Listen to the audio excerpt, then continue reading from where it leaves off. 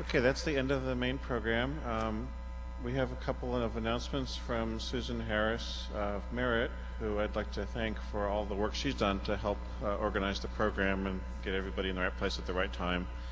Um, otherwise, we'd still probably be trying to work out the program even after you've left. Thank you, Um, Steve. Also, I want to thank you all for coming and for making this one of the most successful NANOGs we've seen in quite a while. Thank you.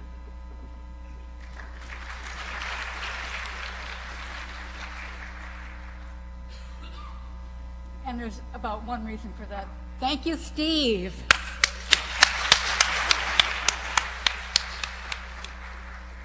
Steve became the chair of our program committee last spring, and he has been just remarkable. Um, I'm Susan Harris. I'm here on behalf of Merit, the organization that brings you NANOG. And uh, many thank yous, first of all, to our wonderful hosts, particularly in the persons of Jay Adelson and Louis Lee, um, who actually arrived at the hotel early this week, setting a new record, making things very smooth for us. Um, Jay did a great job of coordinating all our transit and peering sponsors and getting a DS3 local loop sponsor. And by the way, um, did I say this talk is going to be quick? Because it is. Um, the, the map, um, Jay showed a very nice network map yesterday morning. That's on the web, main page, click on network. Um, we had an incredible response from break sponsors this time. Thank you all for that. We've changed things around a little bit so that our breakfast sponsors, our breakfast food is now sponsored by the beer and gear folks. Um, here are my pals uh, who are here. We have a lot of friends back at Merit in Ann Arbor who are working for the meeting. Yeah, this is really a uh, what you call kind of a mess, isn't it? Yeah. Um, but hopefully you can see who's who. And uh, many of us have been around for years and we love doing the meeting. Oh, Teresa Gurney is in here too because she hosted the party where this was taken last year at the AOL meeting in Reston. She's not at Merit. Um, on a more serious note, although this has been pretty serious so far, let's face it, uh, I do want to thank the people from the University of Oregon for six years of multicast support at NANOG. This is the first meeting. They gracefully bowed out. They're concentrating on other efforts around the world. They are pioneers. We were very lucky to have Joel, Lucy, and Hans with us for many years, so thanks to you guys.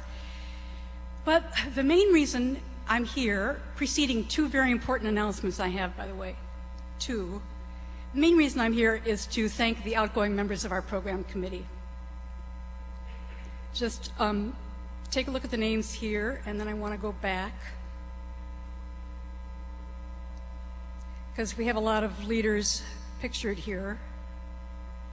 Stu Hares um, led the meetings that preceded NANOG, the regional techs meetings. Elise and Mark Knopper founded NANOG. Um, she was the chair for a while, then was succeeded by Bill Norton, by Craig, and then by myself. As you know, we no longer have a chair.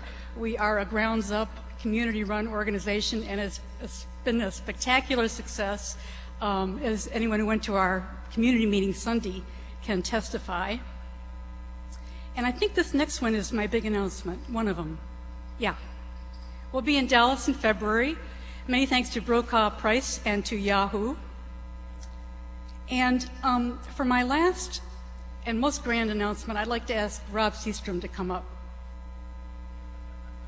And put your minds back to Jay's talk yesterday morning when he mentioned a certain badge and a certain. Uh,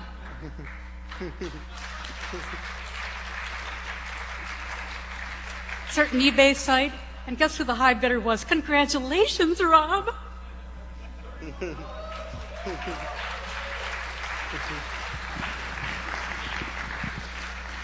I went substantial personal uh, difficulty to be able to actually pay in the uh, in the denomination in which I bid. So, uh, thank, thank you very much to Steve Wilcox for making that possible.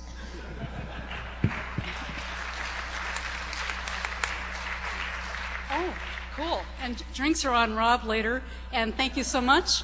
We'll uh, see you in a few months.